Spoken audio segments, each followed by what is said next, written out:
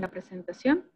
Y entonces, buenas, buenos días, buenas tardes, eh, bienvenidos a este tercer webinar que organiza Ultrasonido Salud de la Mujer eh, con un tema muy interesante eh, que, bueno, creemos que viene a revolucionar sobre todo un poquito la parte radiológica, que el doctor nos extenderá un poquito más sobre el tema en la parte de las masas ováricas y masas anexiales.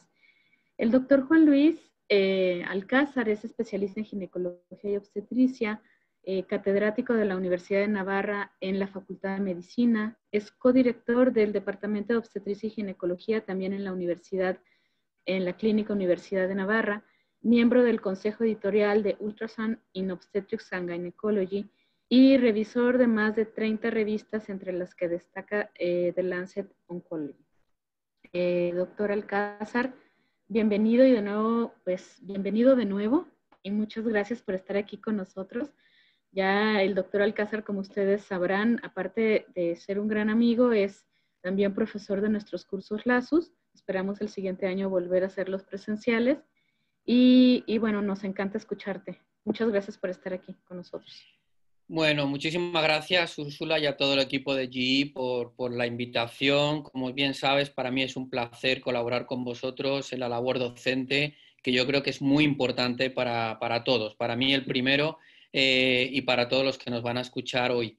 Eh, eh, la verdad es que mm, vamos a abordar un tema que yo creo que tiene relevancia, creo que habéis acertado plenamente la elección porque es un tema novedoso, como es la nueva clasificación de, los RATs. Y, si te parece, pues procedemos directamente a empezar la presentación.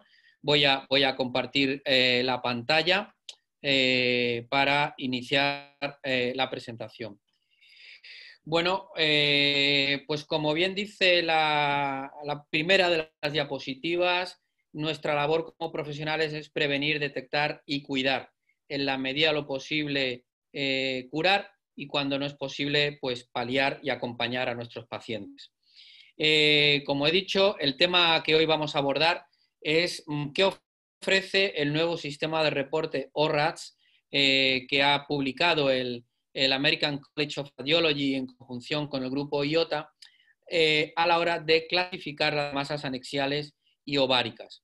Mm, aprovecho que tengo ustedes aquí esta diapositiva para eh, indicarles que pueden obtener más información sobre este Octubre Rosa que ha organizado eh, GE en la referencia que tienen ustedes ahí. Bien, dicho esto, tenemos aproximadamente una hora. Yo me voy a restringir a poco más de alrededor de unos 40 minutos para luego proceder a tratar de resolver todas las preguntas que ustedes tengan, a, eh, a preguntarme cuando finalicemos. ¿Cuál es el objetivo de la charla? El objetivo de la charla es eh, eh, presentarles a ustedes el estado del arte, la valoración ecográfica de las tumoraciones anexiales. Entiendo que va a haber ginecólogos, que va a haber radiólogos, que va a haber técnico en radiología y por lo tanto voy a tratar de dar una visión un poquito general de por qué es importante eh, hacer bien el diagnóstico diferencial de las masas anexiales. En segundo lugar, cómo podemos hacer este diagnóstico y vamos a finalizar en la segunda mitad de la charla en explicar el sistema de reporte o RATS eh, novedoso que hemos comentado.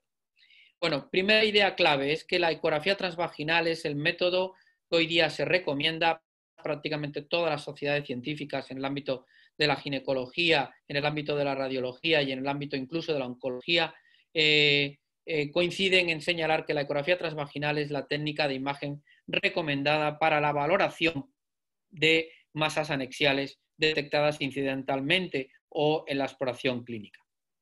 El objetivo de esta valoración ecográfica debe de ser tratar de proporcionar un diagnóstico de la naturaleza de la lesión lo más preciso posible, fundamentalmente en identificar o discriminar las lesiones benignas de las lesiones malignas, porque esto es lo que va a permitir orientar el manejo eh, y esto tiene un impacto asistencial, dado que un error en ese diagnóstico nos lleva a tratamientos inadecuados, a complicaciones quirúrgicas por abordajes quirúrgicos eh, no adecuados o por cirugías que no sean realizadas por el equipo quirúrgico adecuado y, por supuesto, el impacto en los costes que esto puede tener y que es algo que muchas veces los médicos no tenemos en cuenta, pero que como verán ustedes es, importante.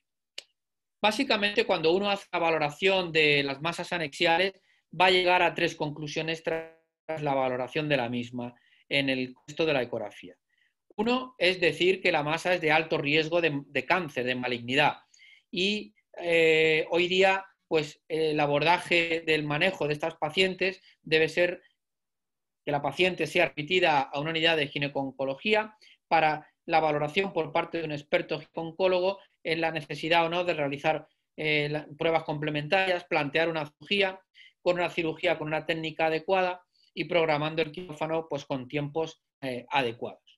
Por otro lado, tendremos las masas de bajo riesgo de cáncer que no van a necesitar realmente ninguna prueba complementaria, ni de imagen ni de bioquímica, eh, que podemos adoptar una conducta expectante, simplemente una vigilancia, o bien una, actitud quirúrgica en función de los síntomas, deseos de la paciente también, eh, siendo una cirugía que puede ser realizada por un ginecólogo general, también con una programación de quirófano en cuanto al tiempo dedicado a la intervención adecuada. Y por último tendremos aquellas lesiones que vamos a denominar de riesgo intermedio, en donde eh, o bien por el cálculo del riesgo o bien porque no se tiene muy claro la naturaleza de la lesión, pues es donde más valor va a tener la petición de pruebas complementarias de imagen eh, como la resonancia o marcadores tumorales, la bioquímica, en donde normalmente la indicación va a ser quirúrgica por las dudas que se tienen con ese riesgo intermedio y en donde la cirugía puede ser realizada por un ginecólogo general, eh, pero debería haber un ginecólogo disponible eh, con el equipo quirúrgico adecuado y en donde más relevancia puede tener la realización de una biopsia intraoperatoria, un análisis durante la intervención de la naturaleza histológica de la lesión.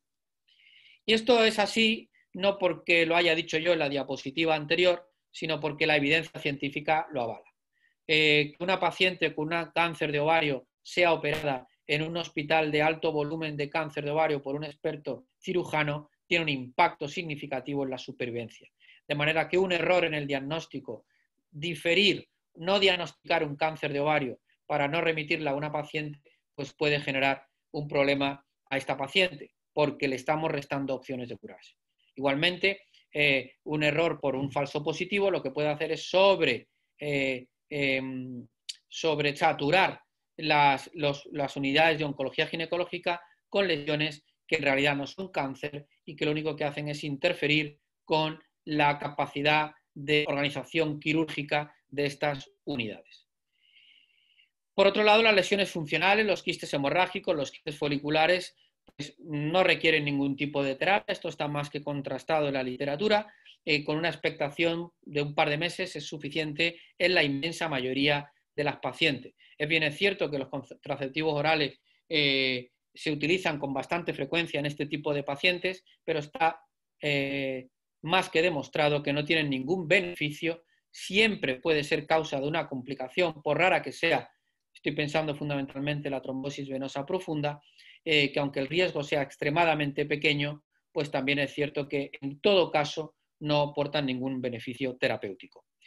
Y por último estarían las lesiones neoplásicas benignas, los endometriomas, los quistes dermoides, en donde hasta hace bien poco, y la mayoría de guías clínicas así lo indican, el tratamiento estándar o el manejo estándar en la cirugía preferencialmente por vía laparoscopia.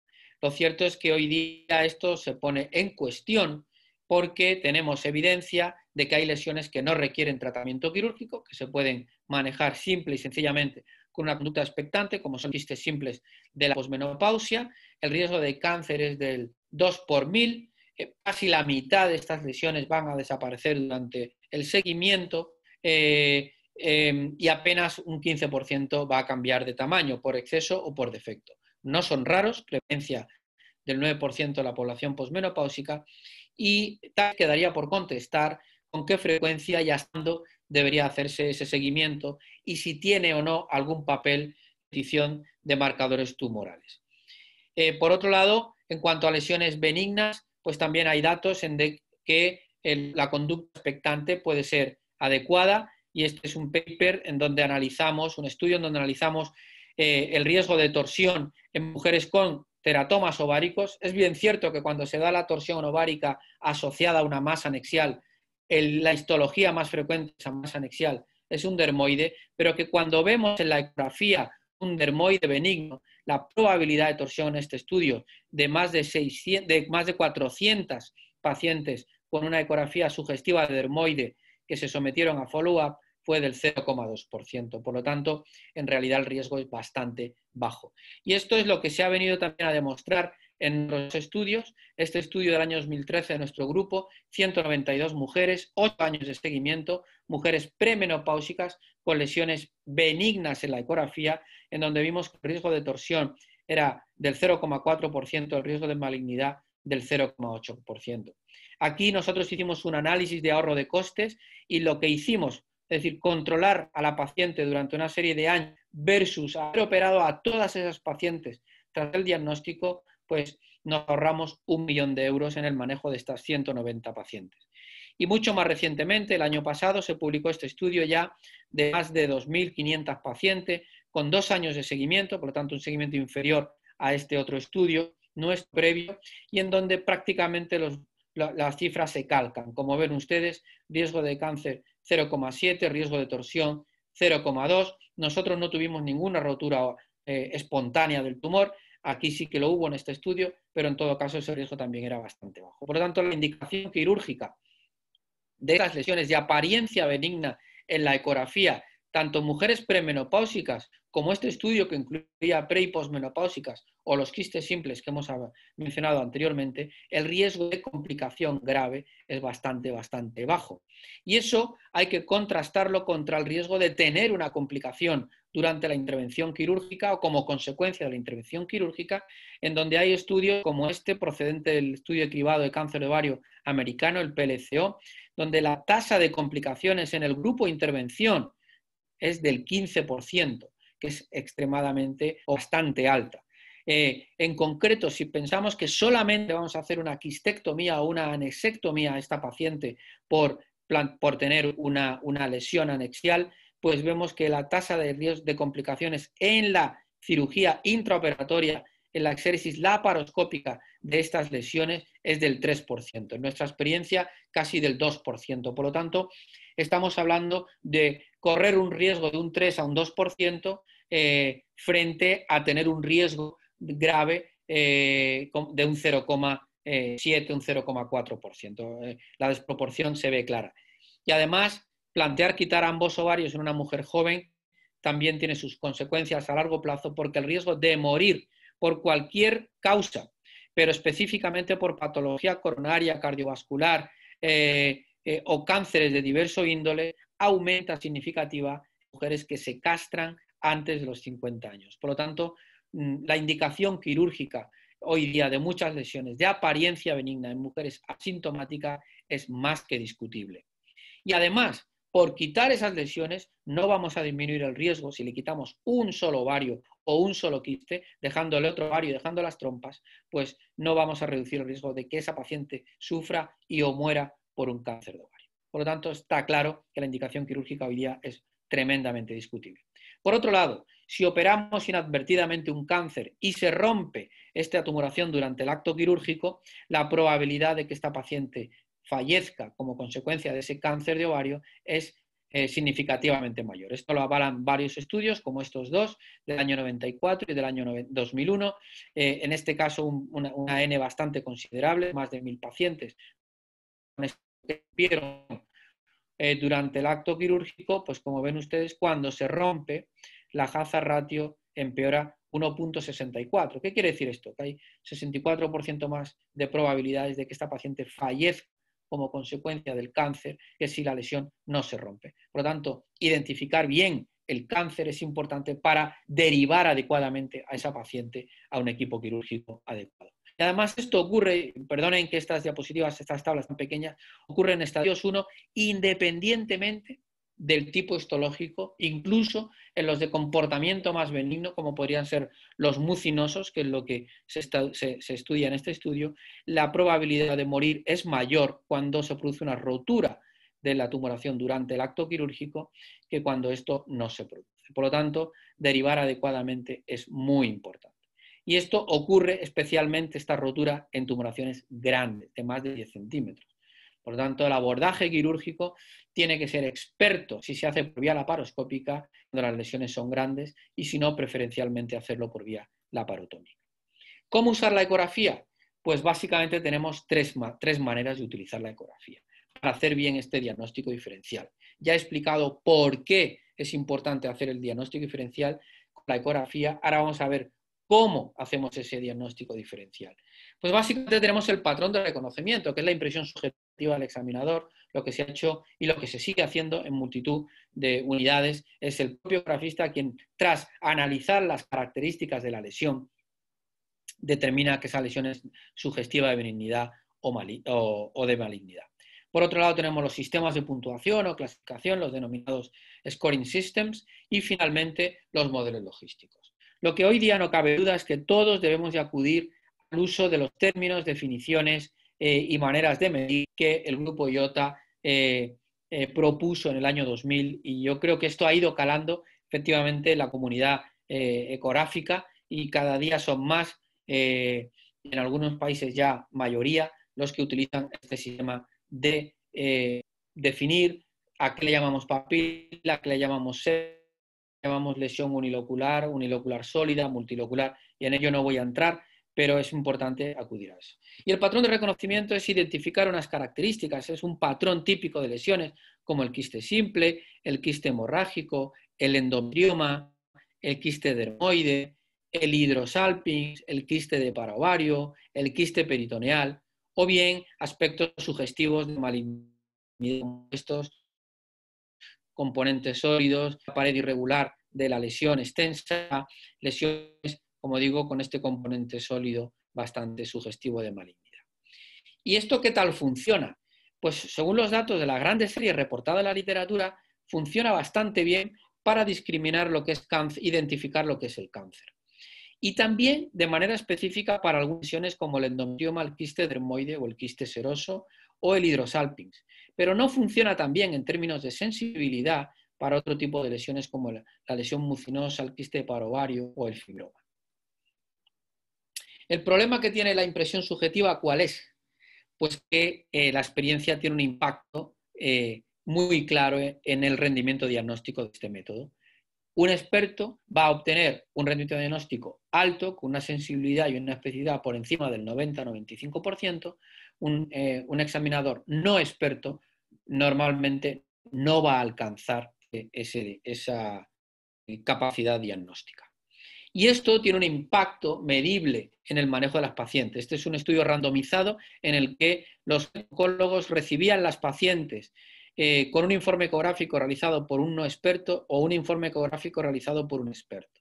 Y lo que se observó de este estudio es que en función de cómo era, quién había sido el ecografista, experto o no experto, esto tenía un impacto medible en el manejo. Se pedían más pruebas complementarias, había más dudas en el reporte, en, eh, lo que se quería decir en el reporte ecográfico, se pedían más veces más marcadores, se hacían más laparotomías ante la duda de que hubiera un cáncer. Por lo tanto, la experiencia eh, es eh, muy importante para la aplicación de este método del patrón de reconocimiento. Los sistemas de puntuación hay muchos publicados en la literatura, pero no me entretengo en ello. ¿Por qué? Porque están totalmente en desuso y hoy día prácticamente, por lo menos en las grandes unidades aquí a nivel europeo, nadie utiliza este tipo de sistemas. En cuanto a los modelos logísticos, el primero de todo fue el descrito por Jacobs en el año 90, que consiste en una puntuación basándose en, datos ecográficos, el estatus menopáusico y el valor absoluto del CA125. Con esto se obtiene un número y que si el resultado de esta fórmula era mayor a 200 o más, se consideraba lesión sospechosa. Esto se ha utilizado muchísimo en el mundo anglosajón, a nivel europeo y también a nivel asiático, algo menos en Latinoamérica y también en Norteamérica. Eh, pero se han publicado muchos, como tienen ustedes aquí. De hecho, nosotros tenemos publicado dos modelos logísticos distintos. ¿Qué ha pasado con estos modelos? Porque en realidad han dado muy malos resultados cuando se han aplicado prospectivamente. ¿Por qué? Se han aplicado se han desarrollado, se han diseñado, perdón, con muy pocas pacientes. Y esto es un, error metodológico importante.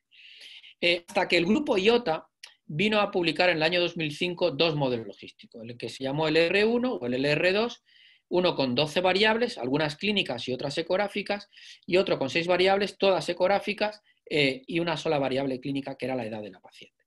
Este modelo es más sencillo, solamente hay que ver si hay ascitis, si hay eh, proyecciones papilares con flujo, si, cuál es el diámetro máximo del componente sólido, si la pared interna es irregular y si hay sombra acústica o no, y tener en cuenta la de la paciente. Eso se mete en una fórmula matemática que nos da un cálculo de riesgo. Bueno, pues el grupo IOTA observó que el LR2 era igual de eficaz que el LR1 en términos de eh, sensibilidad y en términos de especificidad. Por lo tanto, dijeron, bueno, pues recomendamos que se utilice el modelo más sencillo, que es el modelo LR2.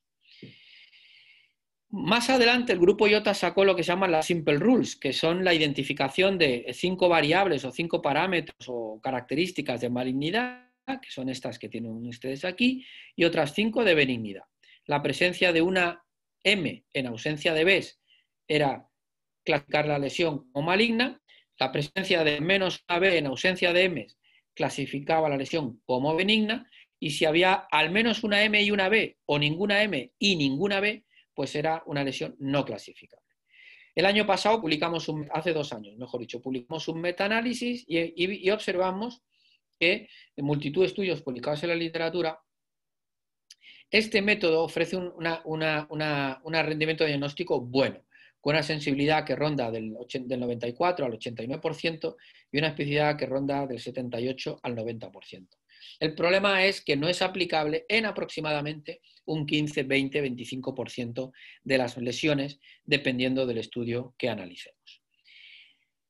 En el año 2014 se publica un metaanálisis que lo que viene es a analizar cuál de los diferentes métodos, sistemas de puntuación, modelos logísticos varios y las simple rules funcionaba mejor. Llegaron a la conclusión en el 14, en el año 2014, que las simple rules era lo que mejor funcionaba.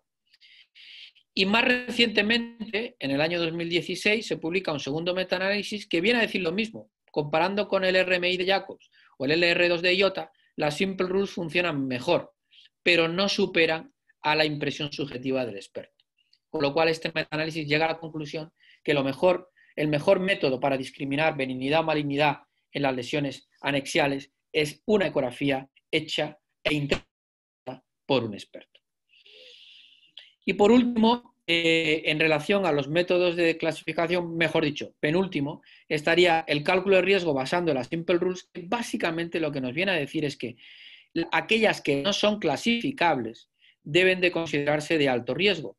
Esto mm, ofrece un rendimiento diagnóstico bueno. Bueno, hasta muy recientemente no se ha publicado un prospectivo que lo ha demostrado y que veremos ahora. Esto lo paso porque no tiene mayor trascendencia y nos vamos al último método que es el Andex Model. Esto ya es una aplicación. Aquí en el móvil, ven ustedes, se introducen una serie de datos en, la aplicación y esta aplicación, una vez que hemos introducido los datos de 10 variables, ¿vale? C125, ascitis, sombra acústica, número de papilas, número de lóculos, el tamaño máximo de la lesión, el tamaño máximo del componente sólido, la edad de la paciente y, importante, si la ecografía se ha hecho en un centro oncológico o no, centro oncológico es aquel, aquel que opera más de 20 cánceres de, ovario al año, pues nos va a permitir calcular un riesgo individualizado, en este caso de 27,6%, ¿vale? pero que además nos permite, como ven ustedes aquí, eh, eh, identificar no solamente el riesgo de cáncer em, eh, específico, en general, perdón, sino más bien específico. Nos está diciendo que hay un 27,6% de riesgo de cáncer, pero que un 12% de ser un borderline, un 3% de que ser un estadio 1 eh, invasivo, un 9%, 8,7% de que sea un estadio 2 a 4 o un 3% de que sea un tumor metastásico. Eso, por lo tanto, no es solamente una diferenciación politómica, perdón, dicotómica entre benigno o maligno, sino que dentro de la malignidad nos da también una orientación politómica, es decir, qué tipo de tumor maligno puede ser. Este método en su paper original ofrecía un rendimiento diagnóstico muy bueno en términos de sensibilidad, 96,5%, cuando el punto de corte del cálculo en el, ejemplo anterior era 27,6, pues puede ser entre 0 y 100. Bueno, pues cuando salga 10 o más, se considera sospechoso, 9 eh, o menos se consideraría no sospechoso, no, benigno. Pues con el punto de corte de 10, 9,96% de, de sensibilidad con un 71% de especificidad. Por lo tanto, la especificidad de este método es relativamente pobre y aunque la sensibilidad es mejor que cualquiera de los otros métodos que hemos visto, eh, con excepción hecha, que habría que verlo porque no se ha estudiado, contra un examinador experto. Hay ya al menos nueve estudios publicados del ANDEX Model y vemos que eh, la sensibilidad efectivamente es muy buena y que la especificidad es realmente moderada. Pero un dato importante es que en ocho de esos nueve estudios, discriminar, la capacidad que tiene el modelo de discriminar entre un borderline, un estadio 1 o un tumor metastásico es más bien moderada. El último estudio que tenemos hasta, pues es el que tienen ustedes aquí, en el cual eh, es un estudio de este año, eh, eh, forma parte del IOTA 5, han participado 17 centros y se han incluido a más de 4.900 pacientes. Y miren, aquí se ha comparado el RMI de Jacobs, el LR2 de IOTA, el cálculo de riesgo de las Simple Rules y el Andex Model con o 125. ¿Y qué se observa?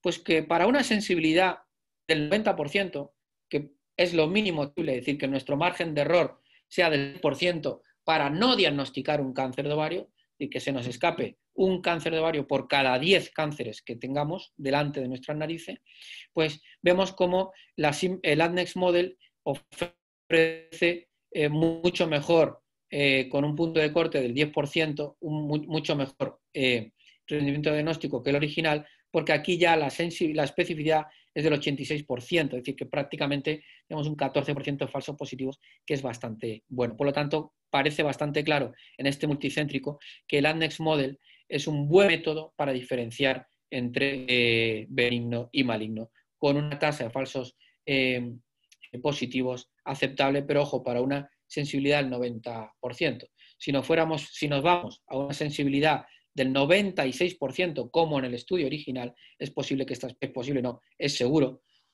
perdón, que esta especificidad sea peor. En realidad, con todo yo lo que le he explicado, ¿dónde está el problema?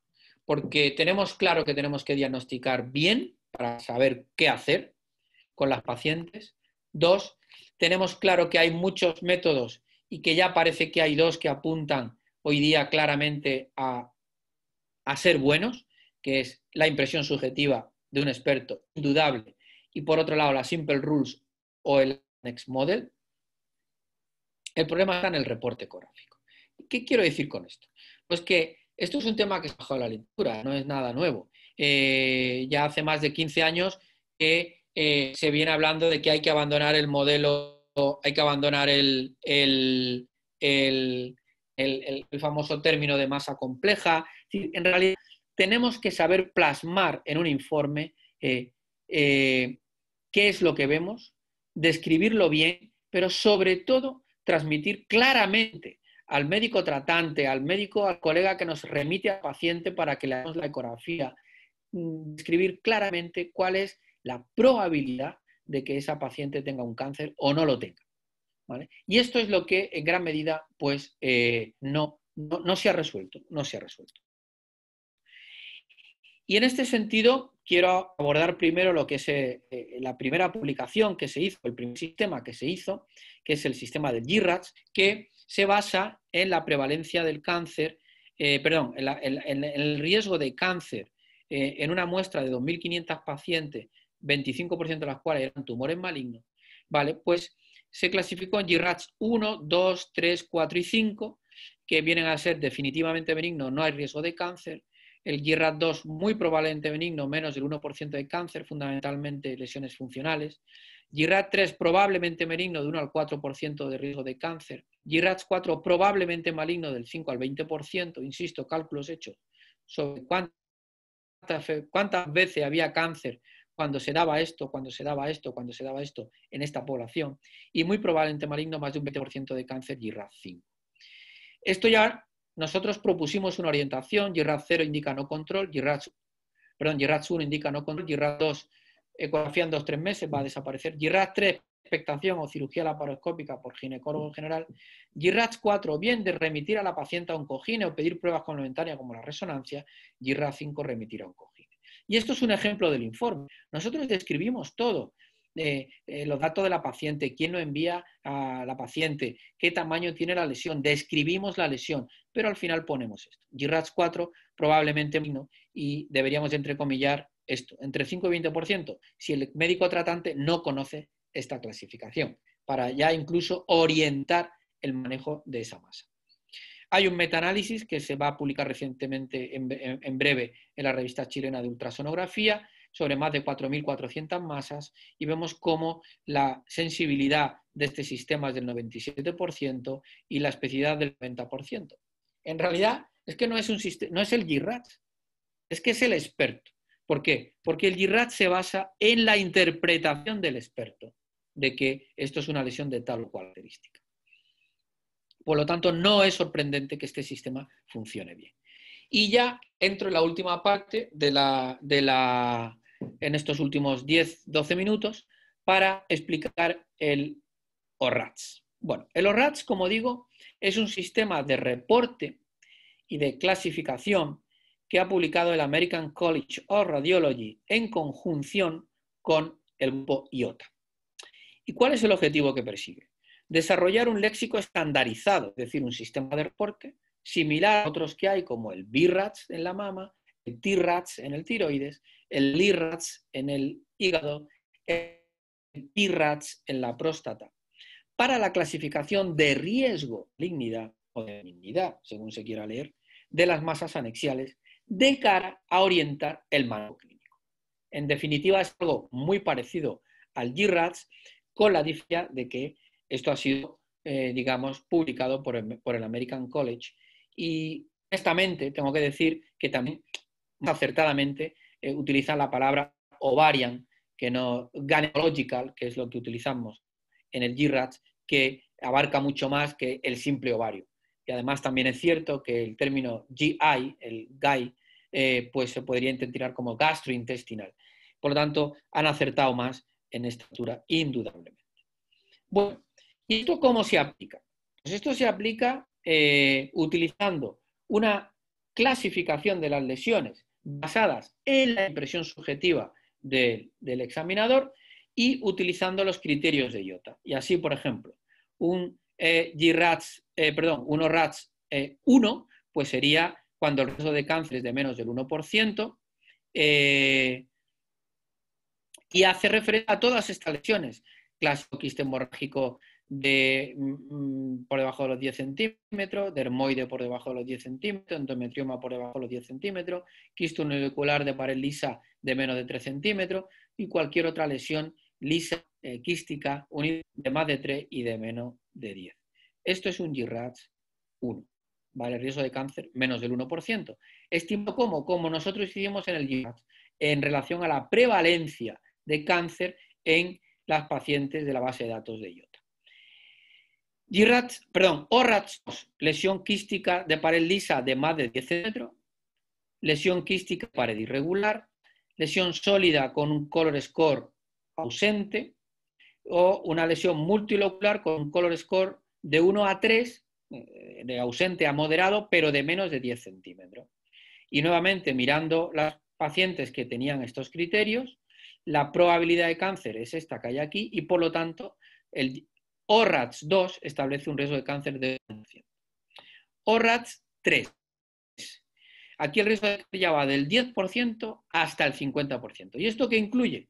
Lesiones de pared lisa de más de 10 centímetros con un color score de 1 a 3, lesiones multiloculares de pared lisa con un color score de 4, independientemente del tamaño, lesión multilocular de paredes irregulares, lesión, ay, perdón, perdón que me he ido aquí, lesión unilocular sólida, eh, pero que no tiene eh, papilas, eh, proyecciones papilares, lesión unilocular sólida con una a tres proyecciones papilares, lesión multilocular sólida con un score de 1 o 2, o una lesión sólida de color liso con un color score 2-3. Y por último, el ORAT 5, del 50 al 100% de riesgo de cáncer. Esto que incluye lesiones uniloculares sólidas con más de con cuatro o más proyecciones papilares, una lesión multilocular sólida con un color score de 3 a 4, un tumor solo liso, pero con un de contorno liso, pero con un eh, color score de 4, un tumor sólido irregular independientemente del color score o la presencia de citis o metástasis. ¿Vale? Y esto sería el RAS 4, eh, ¿vale? Perdón, el ORAS 5. Y aquí tenemos ejemplos de esto, ¿de acuerdo? Ejemplos de esto, pues serían mm, lo que está publicado en el paper, ¿vale? El, perdón, el, ovario, el ORAS 0 es que no se ve el ovario o la evaluación es incompleta. El ORAS 1, ovario normal, que en definitiva es lo que contiene folículos, cuerpo lúteo o cualquier lesión de aspecto funcional. El ORAS 2, lo que hemos definido con sus ejemplos, ¿vale? Típico dermoide, típico endometrioma de menos de 10 centímetros ambio, quistes de parovario, hidro quistes de, inclusión peritoneal, quiste simple de menos de, 2, eh, de 10 centímetros, o sea, lesiones eh, en definitiva pequeñas, de menos de 10 centímetros y de aspecto por impresión sujetiva completamente benignas. El ORAT3 ya son lesiones grandes, aunque tengan apariencia benigna de más de 10 centímetros, apariencia benigna. Esto es importante. Recuerden qué pasa con las roturas en la vía laparoscópica en lesiones de más de 10 centímetros. Pero aquí ya estamos hablando que si ponemos un ORAT3, el riesgo de cáncer es del 10 al 50%. Si se nos rompe un tumor, ojito con esa paciente. Y luego tendríamos lesiones que pueden tener aspecto de benignidad, pero que son de más de 10 centímetros, porque ahí el riesgo de cáncer en esas lesiones aumenta, como hemos visto. Y estas otras lesiones que hemos mencionado antes, lesiones sólidas o de apariencia sólida en más del 80%, de contorno liso, ¿vale? Y con ausente, ausencia de color y aquí independientemente de la edad. El ORATS 4, riesgo del 10 al 50, perdón, el ORATS 3 era del 1 al 10%, el ORATS 4 es del 10 al 50% y aquí ya tenemos todo lo que hemos visto antes con sus ejemplos correspondientes. ¿vale? Y finalmente estaría el ORATS 5, que ya tiene un riesgo de cáncer del 50, más del 50%, hasta el 100%, eh, que incluye eh, esta, es, todas estas lesiones que vemos aquí y que antes he mencionado. Bien, ¿Esto se puede hacer de otra manera? Sí, se puede aplicar el ORATS, pero usando el AdNext Model. Entonces, si utilizamos el AdNext Model, lo veremos ahora, eh, pues también vamos, en función del cálculo de riesgo que nos salga por el AdNext Model, pues clasificaremos la lesión. Si nos sale un riesgo de menos del 1%, ORAT 2, del 1 al 10%, ORAT 3, del 10 al 50%, ORAT 4 y más del 50%, ORAT 5. ¿Dónde está? Y esto es lo que hay de, los RATs hasta la fecha, porque no hay ningún estudio prospectivo publicado hasta la fecha con una N de casos suficiente que realmente nos diga cuál es el rendimiento diagnóstico y qué bien orienta el manejo esta, este, este, sistema de clasificación. Pero quiero hacerles ver una cosa. Fíjense lo que el propio grupo eh, que ha diseñado el ORATS recomienda. En cuanto al manejo, en función de los RATs. Y fíjense, ORATS 1, en mujer premenopáusica, nada, no hay que hacer nada. El ORATS 1 no aplicaría a la mujer posmenopausia.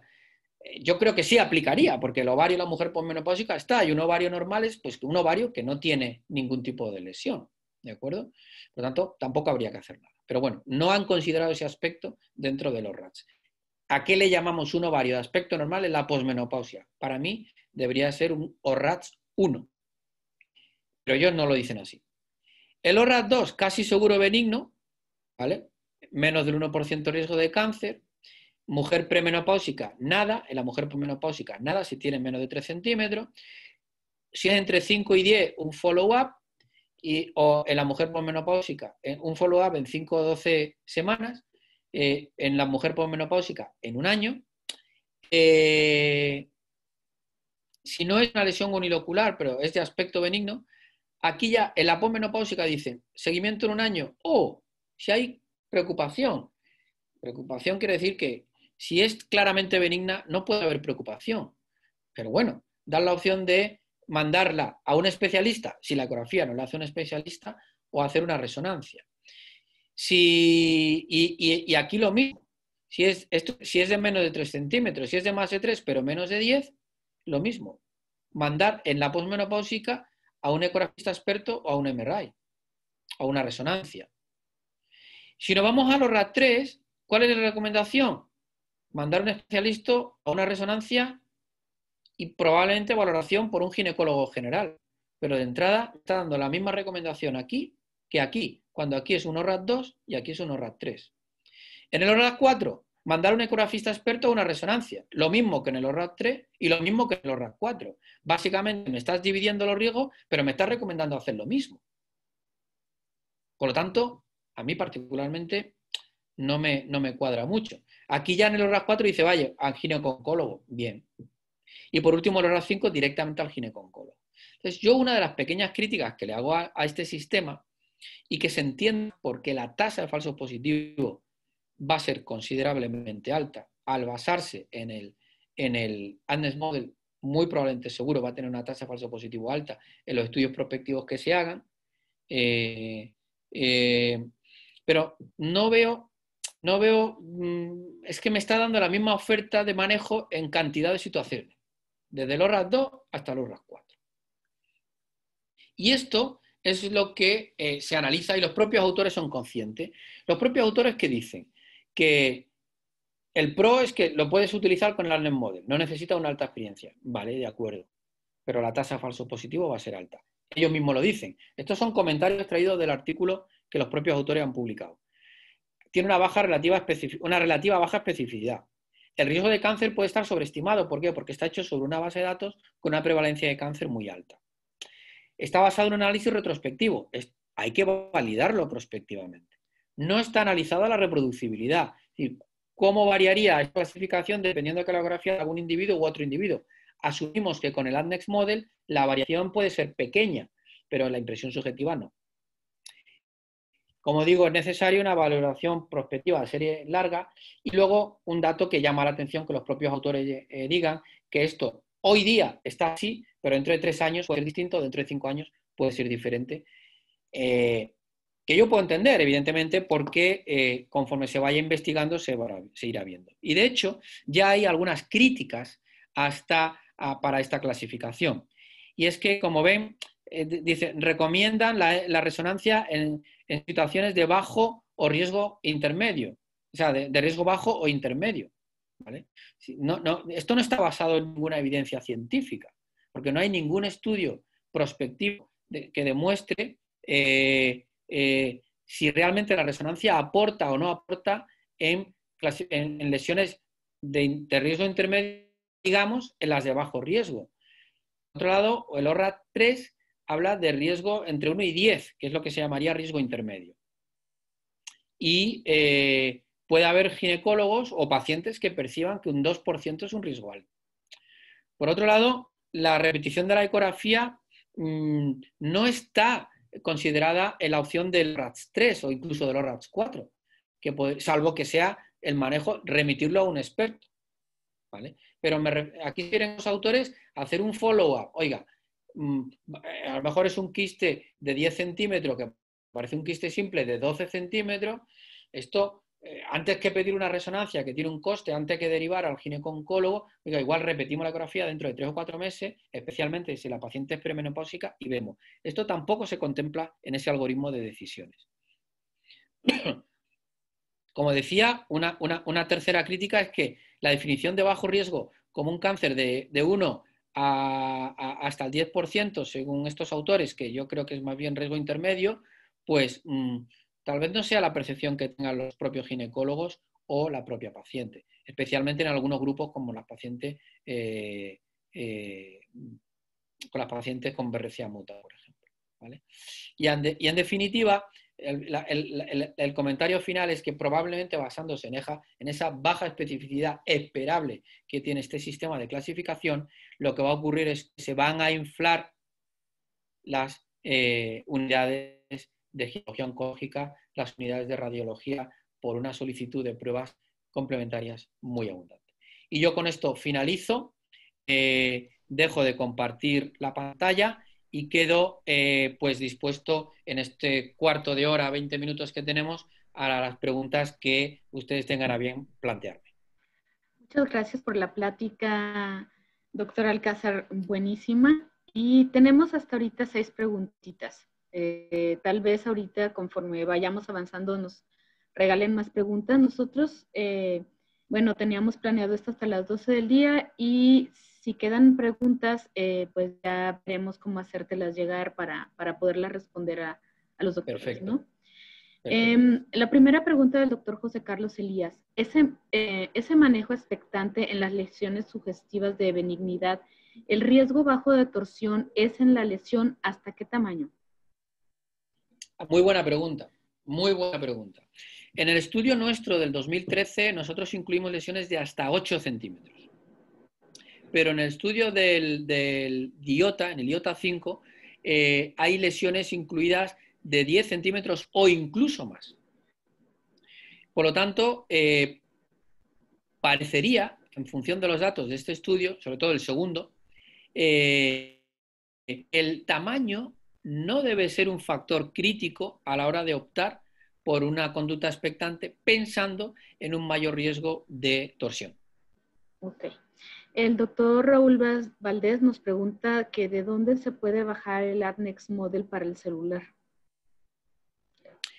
Bueno, buena pregunta. Eh, a ver, eh, IOTA lo da gratuito a todos aquellos que se inscriban en, la web de IOTA, que, está disponible en Internet.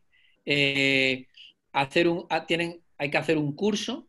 Este curso se aprueba, porque normalmente se aprueba, y una vez que te aprueban, pues ya te permiten ah, descargarte gratuitamente la aplicación. Es verdad que está disponible tanto en Google Play como en iTunes, con un coste, eh, pero yo creo que casi que compensa más hacer el curso porque te va a ayudar a aprender y a, refrescar conocimientos en la propia web de IOTA.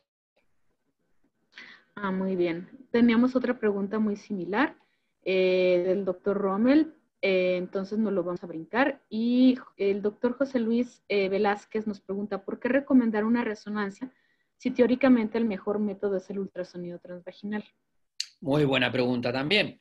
Bueno, pues porque mira, eh, un ecografista experto, la literatura lo dice, mi propia experiencia, eh, va a haber un 10% de ocasiones en los que la naturaleza de la lesión le va a ser muy difícil ponerle una etiqueta de benigna o maligna con confianza a la hora de decir, estoy seguro de que esto es benigno, estoy seguro de que esto es maligno.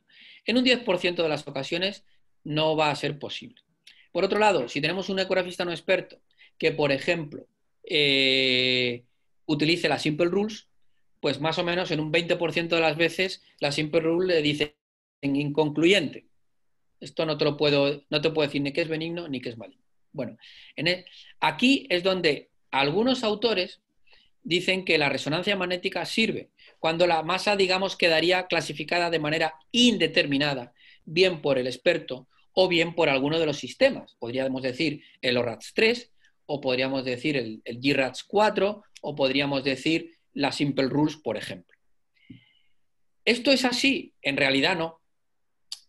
¿Y por qué digo esto? Porque si uno revisa, y yo lo he hecho detalladamente, la literatura que hay publicada al respecto, el problema de que tenemos con el 100% de los estudios, menos el último publicado por Tomasín Nagara, eh, que, bueno, que también lo hemos criticado en este sentido, es que no definen a qué le llaman masa anexial indeterminada en los diferentes estudios. ¿Es masa anexial indeterminada porque la ecografía la hizo un experto y no supo clasificar? ¿O porque se utilizaron las simple rules? ¿O es que fue una masa indeterminada porque la ecografía la hizo un no experto un no experto tiene muchas más probabilidades de decir no me atrevo a decir lo que es porque no tiene la experiencia suficiente. Por lo tanto, se recomienda hacer la resonancia magnética, pero no tenemos una evidencia. Aquí en Pamplona estamos, hemos ya finiquitado el reclutamiento de pacientes para realizar un estudio en donde examinador no experto que aplicando la Simple Rules concluyen que la lesión no es clasificable, ¿qué es mejor ahí? ¿Que la vea un experto que le hagamos una resonancia o que le pidamos marcadores tumorales. Ya tenemos los datos preliminares y da igual, los marcadores no sirven, sin embargo sí funciona muy bien tanto la reso como el experto. ¿Dónde está la diferencia? En el coste.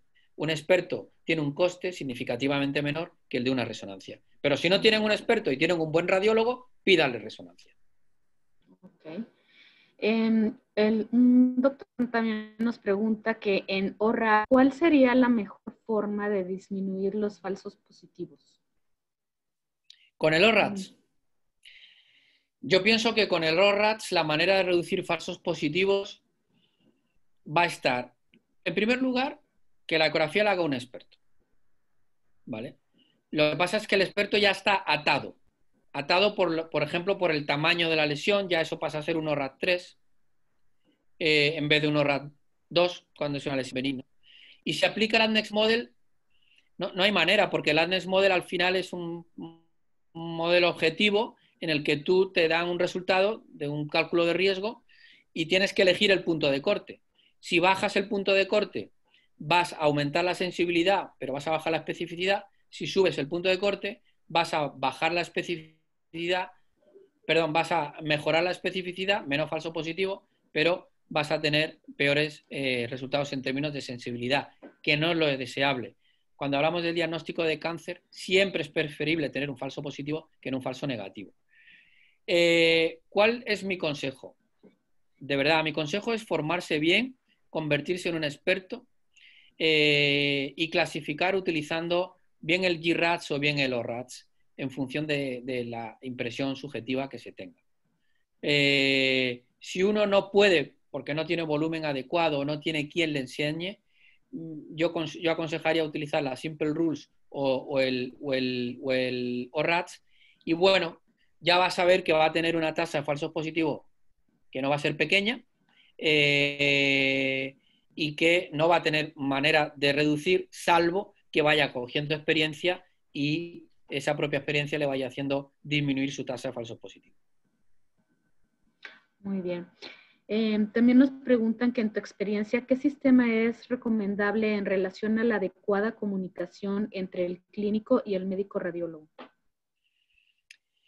Yo pienso, a ver, con los datos que tenemos hasta la fecha, pensando en el metaanálisis que hemos hecho con el GRATS, y siempre sabiendo que el GRATS se basa sí o sí en impresión subjetiva, ¿vale? Creo que ese es un buen sistema. Mi propia experiencia aquí en España me lo dice y la experiencia de los autores con los que hemos contactado de estos otros estudios también parece que sea bastante satisfactoria en ese sentido. En cuanto a los RATS, no lo sé. No lo sé porque hay que verlo. Cuando se hagan las validaciones prospectivas, veremos a ver cuántas veces se enviaron pacientes a cirugía eh, laparoscópica que resultaron ser cáncer o se esperaron, probablemente muy pocas, eh, pero sobre todo veremos cómo, cómo se han inflado bien las unidades de gineconcología o se han pedido mucha resonancia que tal vez fueran innecesarias. En realidad eso todavía no lo vamos a saber. Eh, yo, en todo caso, a fecha de hoy, honestamente aconsejaría utilizar un sistema de reporte como está especificado en el GRATS y el día de mañana, cuando tengamos claro que el ORAS funciona, probablemente la recomendación será el ORAS. Muy bien. Eh, también nos preguntan sobre el papel de los marcadores tumorales. Yo creo que el papel de los marcadores tumorales es bastante limitado bastante limitado por su baja especificidad y específicamente también o particularmente por su baja sensibilidad en estadios precoces y en tumores borderline. Eh, eh, ¿Qué hacemos nosotros? Por si la gente tiene curiosidad. Nosotros, cuando vemos una lesión claramente benigna, bien porque se aplica la Simple Rules o bien porque la ecografía la hace un experto, nunca pedimos marcadores tumorales, nunca. Cuando tenemos una tumoración claramente maligna, sí que pedimos. Pedimos eh, sistemáticamente el CA125 y el H4 o el, y el CEA, salvo que tengamos un escenario clínico en el que sospechemos un tumor de células germinales, que entonces ya pedimos alfa-feto, eh, inhibina, eh, B y, LDH y beta, pero esto es un perfil muy particular de pacientes. Si no pedimos estos otros, en la sospecha de los mucinosos pedimos el CA199 junto con el CEA y si tenemos una lesión indeterminada, hasta ahora estábamos pidiendo el Roma, pero a la vista de los datos que hemos obtenido, pues hemos decidido que no, que vamos a pasar a pedir una resonancia pues cuando el experto no esté disponible. Es decir, si yo estoy fuera de Pamplona en un congreso y surge un caso de masa indeterminada, eh, por simple rules, inconcluyente por simple rules, hecha por no experto, a esa paciente se le realizará a fecha de hoy una resonancia, porque los datos del estudio que acabamos de finalizar así lo avalan. Muy bien, hay varias preguntas en referencia al tamaño de las, eh, bueno, de las masas benignas eh, o de las lesiones quísticas. Aquí nos, eh, ya leí varias referente al tamaño. este, aquí un, doctor dice que se decía que si la lesión quística es mayor de 6 centímetros debe operarse porque siempre crecerá, aunque sea benigna. no, no, rotundamente no. En los estudios prospectivos hemos podido ver que muchas lesiones por encima de los 6 centímetros permanecen estable en el tiempo. Y no se complican, no se torsionan, no se rompe, ni de ellas surge un cáncer.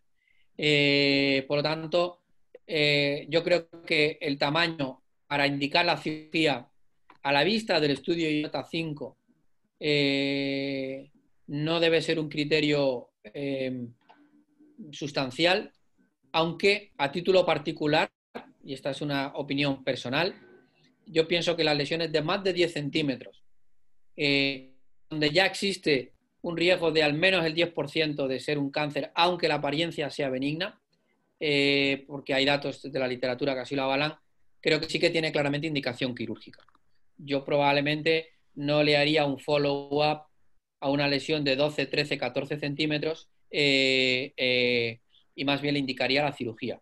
No tanto por el riesgo de torsión o de rotura, sino porque en ese grupo, y por eso en el ORATS se marca de un riesgo mayor, existe una mayor probabilidad de que haya un cáncer ya en esa lesión, aunque sea de apariencia benigna. Por lo tanto, menos de 10 centímetros, follow-up, claramente si es benigna, más de 10 centímetros. Juan Luis Alcázar indicaría cirugía eh, eh, en pacientes asintomáticas, se entiende claramente, eh, pero si alguno optara por una conducta expectante, pues por lo menos basándose en los datos del IOTA 5, podría hacerlo. Muy bien. Em, también nos, aquí nos hacen esta pregunta. Eh, ¿Cómo cambiarías entonces las recomendaciones de ORATS de manejo en el 4, no sé si es 4 o 5 del manejo oncoginecológico? Vale, joe, menuda pregunta me hacéis. A ver, yo voy a dar mi opinión aquí al respecto, luego ya veremos ORATS lo que decide, porque ORATS quiere basarse en evidencia. Eh, yo a una paciente con un ORATS 2 eh, le haría un follow-up en premenopáusica dos, tres meses y le haría un, control anual a la posmenopáusica. ¿Vale?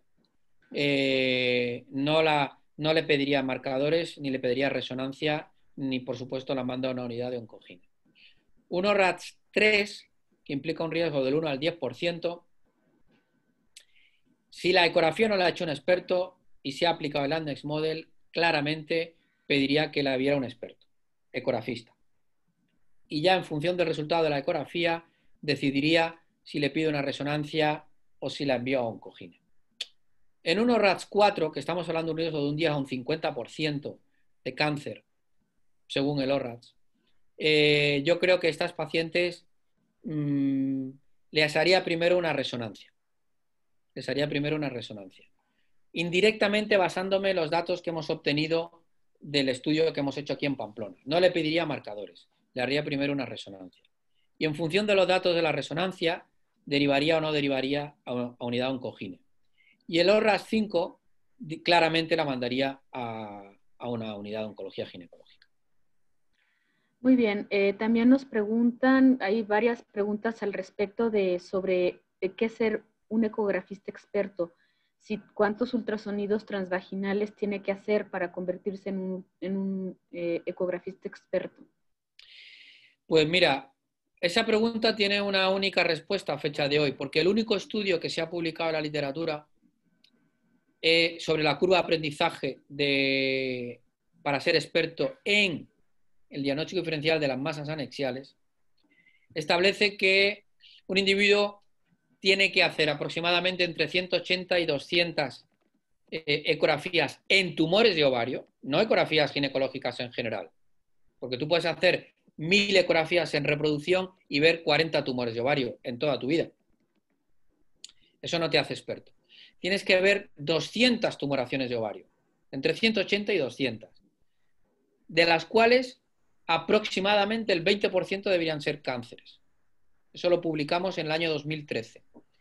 El curso online que yo tengo para titulación de experto en el diagnóstico diferencial mediante ecografía de los tumores de ovario se basa en eso.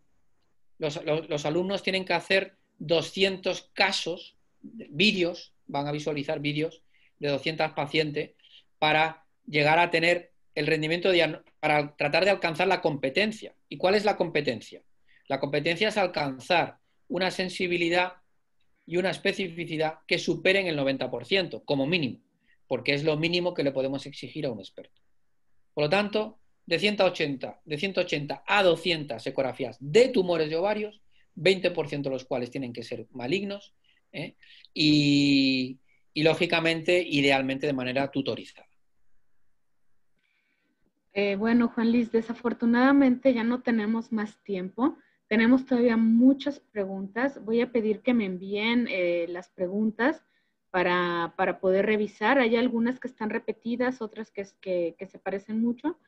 Eh, pero te agradezco mucho este tiempo y todo tu conocimiento. Eh, la plática estuvo espectacular. Hay muchísimas felicitaciones en el, en el chat.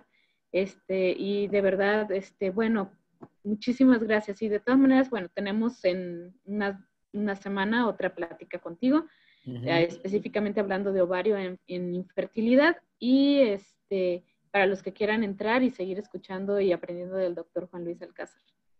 Muchísimas bueno, pues el agradecido soy yo, de verdad, a mí me encanta enseñar lo que sé, lo que no sé no lo voy a enseñar nunca.